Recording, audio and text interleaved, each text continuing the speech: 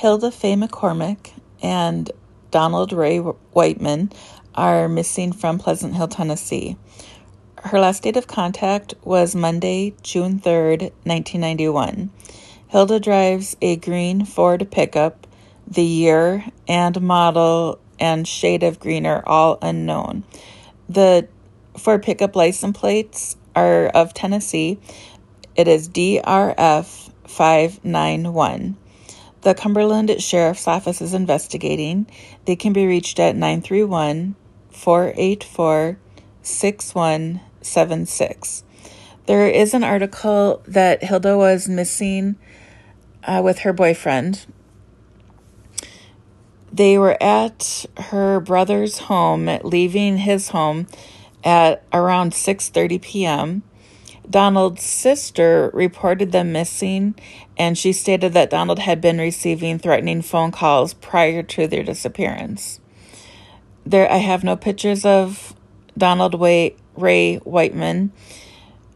Let's see here. Left. Okay, and then Hilda's brother is Richard Randolph. They left his home at 6:30 p.m.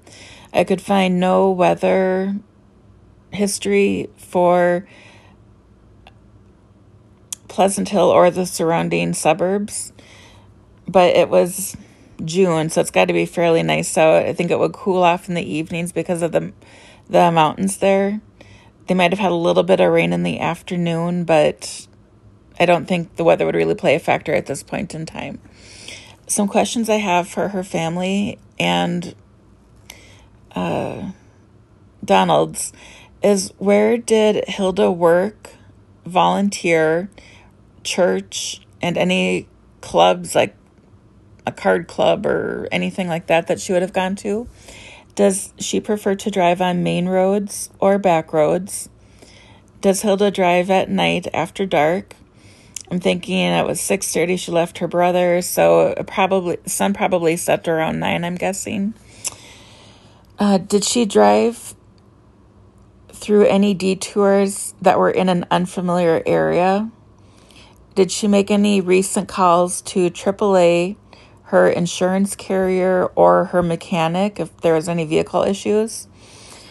Uh, if I get the exact address of her home and, uh, well, actually, I should probably try to find Donald's address as well as her brother Richard's.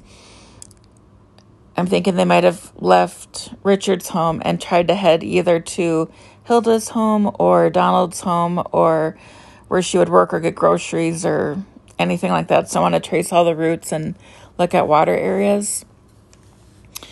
Uh, the the place of the last verifiable transaction with a check or a credit card, and then does she have any health issues? A bladder infection the days before her disappearance. Does she have any vision problems?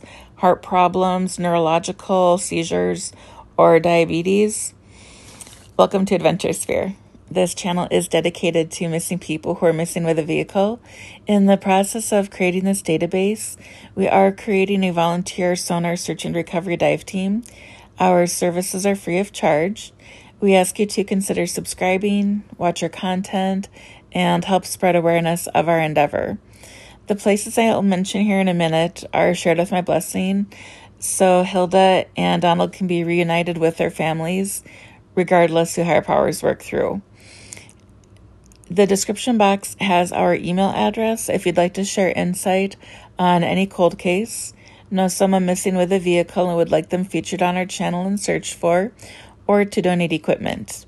The video of Google Earth has a measurement from our current best starting location and goes out to possible search areas.